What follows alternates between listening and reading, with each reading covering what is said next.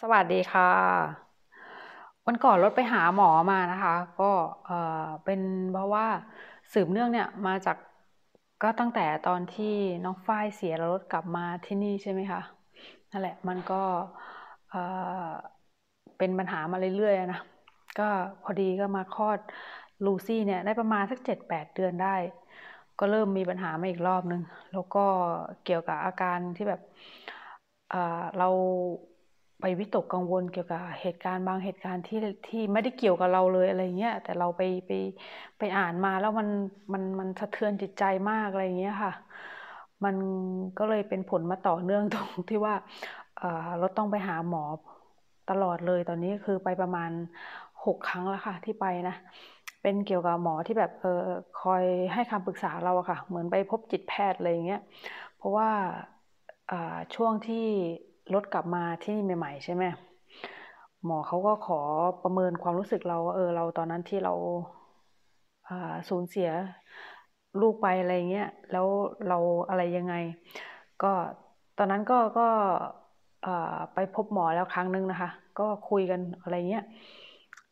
ก็ก็ถือว่าโอเคผ่านพ้นมาได้อะไรไปไปประมาณสองครั้งตอนนั้นนะคะ ที่ไปคุยกับหมอปรึกษาหมอ แล้วก็มาพอมา ลูซี่เนี่ยได้ประมาณเจ็ดแปดเดือน ความรู้สึกที่มันแบบเราเราเราคิดถึงน้องฝ้ายมากค่ะ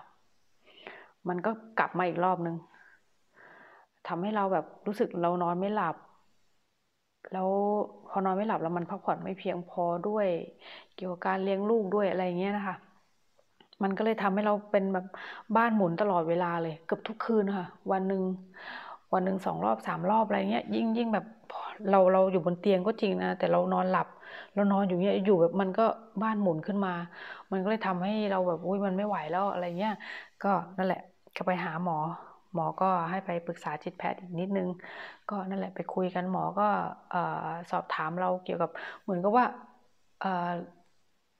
เราวิตกกังวลเรื่องอะไรบ้าง มีปัญหาเรื่องอะไรอะไรเงี้ยถามเกี่ยวกับเรื่องครอบครัว เรื่องเรื่องเกี่ยวกับมิสเตอร์อะไรประมาณเนี้ยค่ะ มันก็ยาวมาจนถึงตอนเนี้ยที่กระทั่งที่แบบเราไม่ได้กลับเมืองไทยด้วยอะไรด้วย มันเป็นช่วงโควิดนะมันก็สะสมมาเรื่อยๆ จนครั้งล่าสุดที่ไปหาหมอเนี่ยรามีอาการประมาณว่า เราหลับตาลงไปอะพอเราเริ่มจะนอนเนี่ยเราปิดไฟนอนละหลับตาปุ๊บความคิดที่มันมันแล่นเข้ามาทันทีเลยค่ะ เกี่ยวกับน้องฝ้ายมันเป็นอย่างนี้ค่ะ ตลอดเวลาเลยนะมันมันจะทำให้เราแบบ กระตุ้นให้เรานอนไม่หลับเลยค่ะ ก็จะคิดแบบเลื่อยเปื่อยค่ะ สารพัดเรื่องเกี่ยวกับน้องฝ้ายอะไรเงี้ยมันก็เลยทำให้รถนอนดึกนอนดึกไปแล้วก็ พักผ่อนไม่เพียงพอ แล้วมันก็มีแบบบางเหตุการณ์หลายเหตุการณ์ที่เราเก็บเอามาคิด มันก็ยิ่งกระตุ้นให้เรารู้สึกแบบนอนไม่หลับ มันมันมันเหมือนเราไปเจ็บปวดแทนเขาอะไรประมาณนั้นนะคะเขาเขาทั้งทั้งที่เขาเสียชีวิตไปแล้วอะไรเงี้ยทั้งสองคน แล้วก็มาเป็นเรื่องที่ที่มันสะเทือนใจเราที่สุดคือ เรื่องของน้องฝ้ายเนาะที่แบบเราเราเราลืมไม่ได้อะไรเงี้ยค่ะ แล้วมันติดตาติดเราตลอดเวลา ไม่ว่าเราจะทำอะไรเงี้ยอยู่หัวสมองรถเนี่ย มันจะแล่นขึ้นมาเป็นเป็นเป็นน้องฝ้ายค่ะ จะเรียกชื่อน้องฝ้ายไม่ว่าเราจะอาบน้ำอยู่อาบน้ำปุ๊บราก็จะเรียกน้องฝ้ายทำกับข้าวปุ๊บก็จะเรียกน้องฝ้ายคือคือมันไม่ใช่แบบว่าเราอยู่เฉยๆเราก็มานั่งคิดไม่ใช่นะคะไม่ใช่ มันเหมือนกับแบบ มันอัตโนมัติอะค่ะ มันมาแวบหนึ่งมันทำให้เราแวบหนึ่งแวบหนึ่งแต่วันหนึ่งเนี่ยมันเป็นหลายรอบ ก็นั่นแหละ ตอนนี้ก็หมอเขากำลังกำลังกำลังแบบถามเราว่า เออเรา เหมือนกับ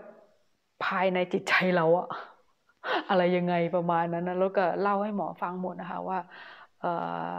เราเรา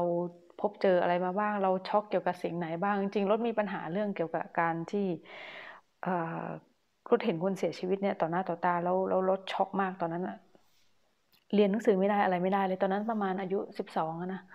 ก็จนกระทั่งอายุยี่สิบอะมันมันมันมันไม่สามารถเปลี่ยนมันมันทำให้เรารู้สึกว่ามันไม่เขาไม่หายไป เรายังรู้สึกกลัวเรายังรู้สึกอะไรทั้งตลอดเวลา เราไม่กล้าดูภาพ ภาพที่แบบคนเสียชีวิตหรือว่าอะไรทั้งสิ้น จนกระทั่งอายุยี่สิบมันเริ่มทุเลาลงทุเลาลงจนกระทั่งเรารู้สึกดีขึ้น เราสามารถดูอะไรได้อะไรที่แบบหวาดเสียวหรือน่ากลัวอะไรอย่างนั้นได้ค่ะก็ผ่านพ้นมาได้ด้วยดีตอนนั้นใช่ไหมครับ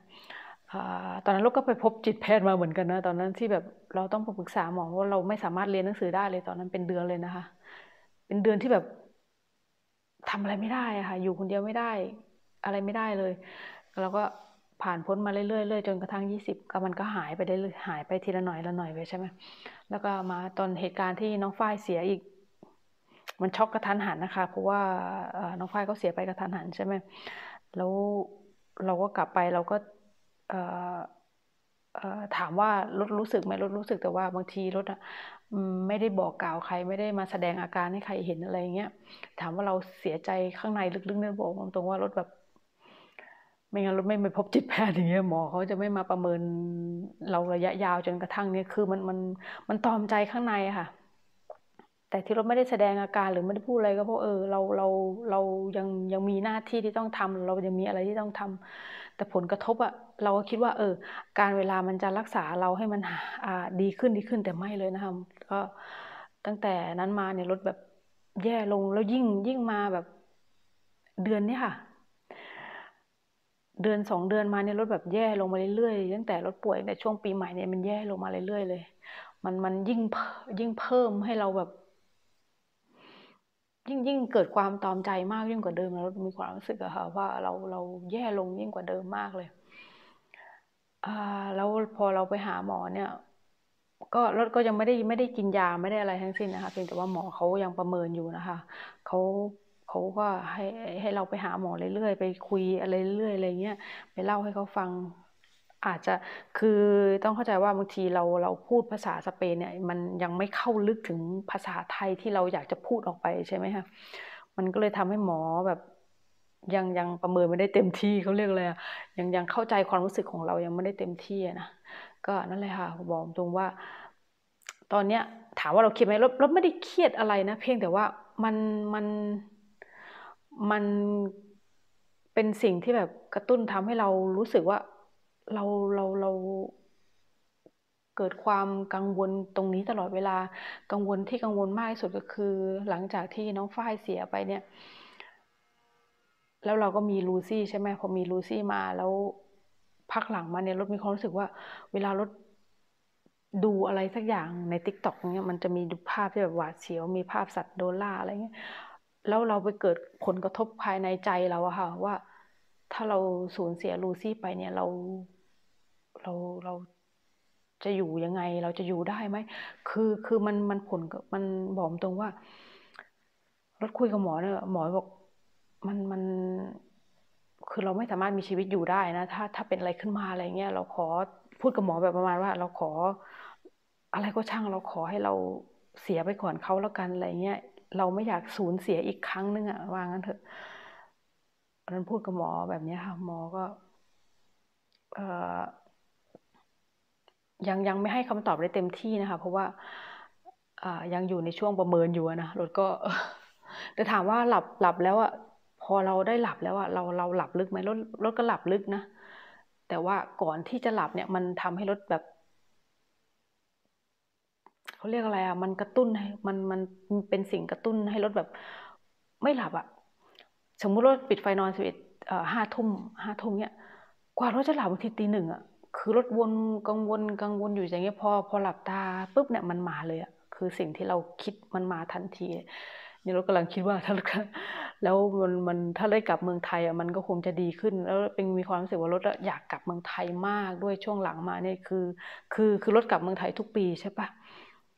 แล้วเราไม่ได้กลับอะสองปีแล้วนะคะ ที่รถไม่ได้กลับเมืองไทยรถแบบเกิดความกังวลมาก จนจนแบบมันก็สุมกันอยู่อย่างเงี้ยเนาะเราอยากกลับไปกลับไป เจอพ่อแม่เราเราอยากกลับไปเจอเจอลูกเราเจอสิ่งสิ่งที่เราเคยเห็นกับลูกเราอยู่กับลูกเราอะไรเงี้ยเราอยากกลับไปดูบ้านดูแลบ้านของเราด้วยอะไรด้วย นะ ช่วงโควิด เนี่ยมันเป็นอะไรที่แย่มากๆเลยรู้บอกตรงว่า มันไม่ได้แค่ทำลายไปทั่วโลก แต่มันทำลายความรู้สึกทำลายทำลายความรู้สึกมากเลยทั้งที่แบบนะ ยังไงก็ดูแลกันสุขภาพด้วยนะคะ ไปแล้วค่ะ